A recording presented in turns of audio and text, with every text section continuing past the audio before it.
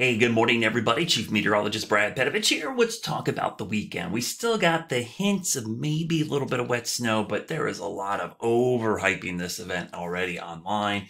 Uh, this is not going to be a huge snowfall event for most areas. Now, the mountains might be a different story, but if anything, this morning we're seeing a trend away from uh, significant snow east of the mountains. There's really not much there to begin with, and I'll kind of explain why here in a minute. So looking at the wider view here, we've got one system heading our way today into Friday. This is not the main system. The system we're watching is actually back here. It's an upper level system. Low pressure is going to form down here and then move up the coast. And this upper level low is going to be the big player if we're going to see some wintry weather east of the mountain. So let's get right to it. All right, so we'll dive right into the futurecast here. Here's a system today into tomorrow. Not much of a system, but watch this coming into the central part of the country. Right there, that's the player in this system. Watch as it digs down.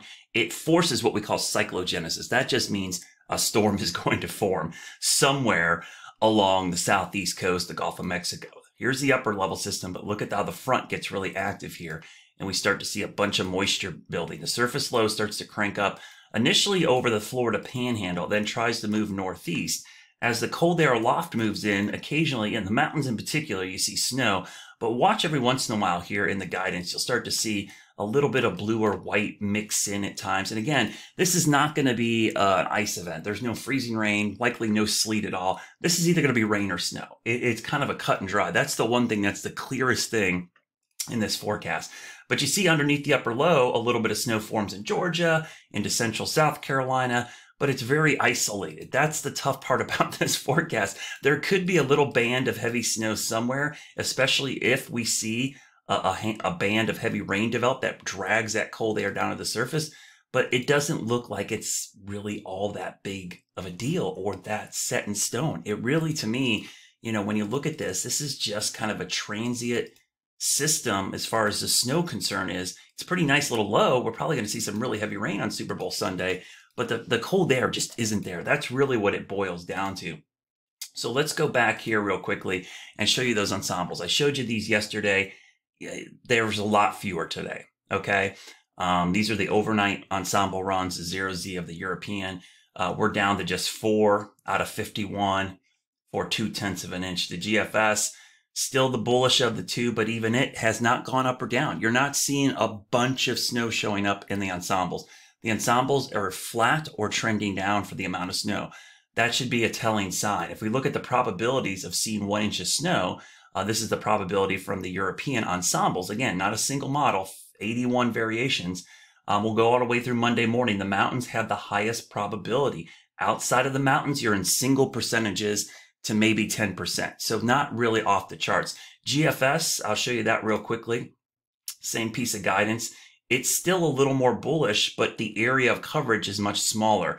Notice the mountains, and it is around a 50 to 60% chance in this very small area in the upstate into the Charlotte area. But that location is going to be very fluid. I do think somebody in here, maybe in here, and here, there's going to be a band where the snow is going to mix in. Trying to pin that down right now is incredibly difficult. Um, and I think that's the issue. The upper low is a key part here. So this is looking at the 850 millibar, which is 5,000 feet off the ground. Basically, where we look at is it cold enough to snow?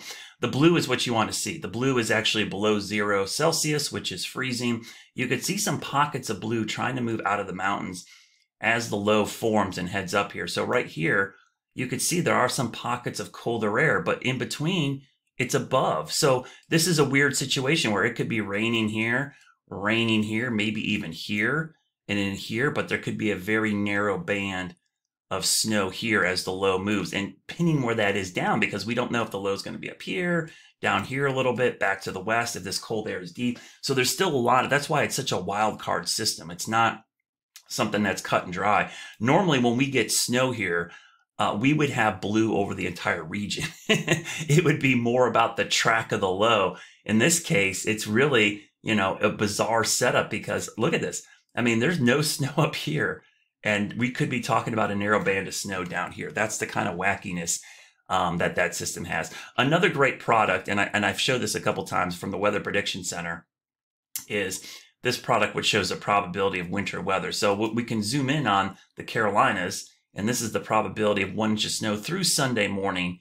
And you can see through Sunday morning, the, the highlight of all the guidance is really aimed right at the mountains. Another thing I look at are soundings. You know, we just had the spy balloon go by. We launch weather balloons twice a day to get us a sounding, a profile of the atmosphere.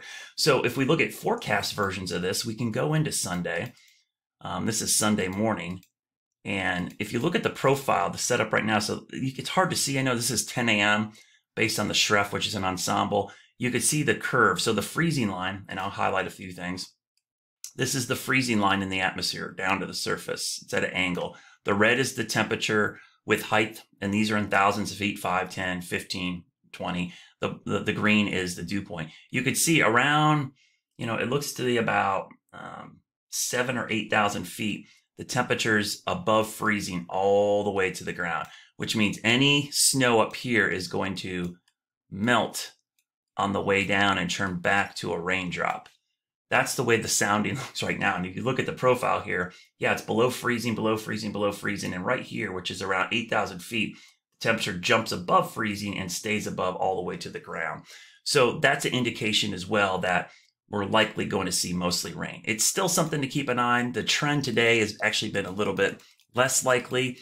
I think it's because we're snow starved that everyone is excited for this, but this is likely going to be a big hit or miss situation where we're all going to see rain on Sunday. And then some of us at some point Sunday afternoon, we might, even midday Sunday, we might see a quick burst of snow as this thing moves through the area. Of course, I will continue to post updates over the next couple of days as we get closer. Um, but if you're excited for snow right now, the trend is flat, if not slightly down for a few wet snowflakes. And please don't look for big accumulations this is not going to be a big accumulating storm. If snow does fall, it's going to melt quickly. It's going to be wet. It's going to be a lot of rain mixed in. So liquid um, equivalent's going to be pretty high for this snowfall. So we're probably talking about white rain, I like to call it, where we might get a, a snow dusting on the grass, the rooftops, but it melts within an hour or so and really impacts on the roads should be close to zero because the surface temperatures during this whole event never get lower than about 34 degrees, if at all. So you're looking at temperatures staying warm enough that this is going to be just wet. Hope you have a great Thursday. I probably will do another update tonight. I will continue to post updates on my page. Uh, make sure you're sharing this with your friends or family. The Weather IQ page on YouTube is a great spot. I post all my vlogs there, so make sure you hit that subscribe button so you get these notifications when I post an update.